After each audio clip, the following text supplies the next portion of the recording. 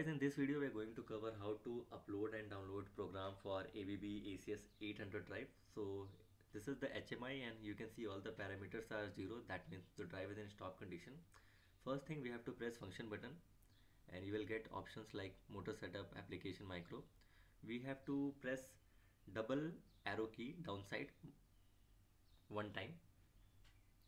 After pressing you will get get this option upload and download. So upload it is clear from the symbol that we will get all the program parameter from drive to HMI and download from HMI to the drive. So first we will perform upload function. And for that uh, we can keep the drive in remote or local mode. So this is presently in remote mode. We can also do the or we can also perform it in the local mode. Here is the option. First we'll do it in the remote mode it is showing 31 generally it it shows 1 so you can see it's blinking on upload. Just we have to press enter button and it will take hardly 20 25 seconds. So this upload and download is helpful when the drive gets faulty because of some error. The program get faulty. We can take all the program from a healthy panel and download it. Okay? So suppose the uh, this is the healthy panel. We are uploading all the program in this HMI and later on we'll download it to the faulty one.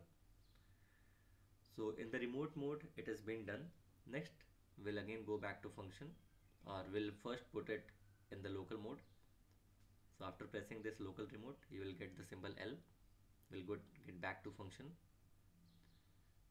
It's in upload only. We have to just press enter why I am repeating this step you'll get to know in the later part of the video. So upload operation is getting performed. It's hardly, it won't take much time, it's hardly 3 minutes of video. So within 3 minutes you can do the upload and download for your faulty and healthy drives. So upload has been done both in local and remote mode. Next we'll perform the download option and the present drive is in remote uh, sorry local condition itself. Same thing we have to press down button once. Okay so the blink you can see it's on download.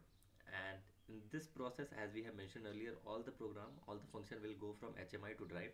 Just press enter, enter button and you can see the symbol.